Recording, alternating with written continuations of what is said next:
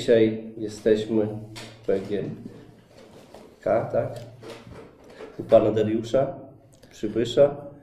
Udało się nam dostać i namówić na rozmowę, tak? My w związku z programem, jaki on ma charakter, ma charakter motoryzacyjny, to, to tak żeśmy się nastawili na, na pytania dotyczące właśnie może takiej w tej chwili kwestii inaczej, która, która dużo uwagi przykuwa e, mieszkańcom, czy nawet mnie, czy, czy ludziom, którzy są blisko motoryzacji. Chodzi o elektryki, tak? Czyli te, ten właśnie pomysł, czy inicjatywa, tak, którą w tej chwili rozumiem, jest realizowana, jeśli chodzi o zakup, tak? E, Kilka miesięcy temu, to chyba w grudniu, prezydent miasta upublicznił taką informację właśnie, że, że e, zostaną wprowadzone do e, komunikacji miejskiej autobusy elektryczne. Wynika to z tego, że w grudniu został złożony wniosek o dofinansowanie takiego projektu z programu operacyjnego dla Polski Wschodniej.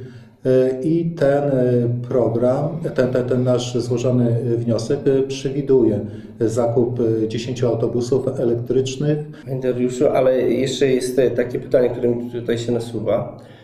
No inaczej się nasuwa, może żeby to lepiej brzmiało. Chodzi o to, że ta część partycypacji w kosztach, to żeby tak powiedzieć naszym słuchaczom, czyli to jest ile do ilu?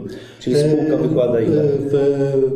Przede wszystkim nie tyle spółka, a miasto, dlatego że to miasto jest tutaj beneficjentem tych środków. Miasto płaci 15%. Na chłopski rozum przekładając, czyli taka farma, za, załóżmy przez cały dzień, zmagazynuje energię na przykład dla, dla tych wszystkich autobusów do ładowania? No moc, moc tej farmy, moc magazynu energii no jest skalkulowana biorąc pod uwagę zapotrzebowanie tych elektryków na, na, na, na energię i tutaj no, uważamy, że przy, przy jakimś takim wiesz, no, przeciętnym okresie, przeciętnej pogodzie, w okresie między wiosną a jesienią praktycznie powinniśmy być samowystarczalni, jeżeli chodzi o ładowanie tych autobusów.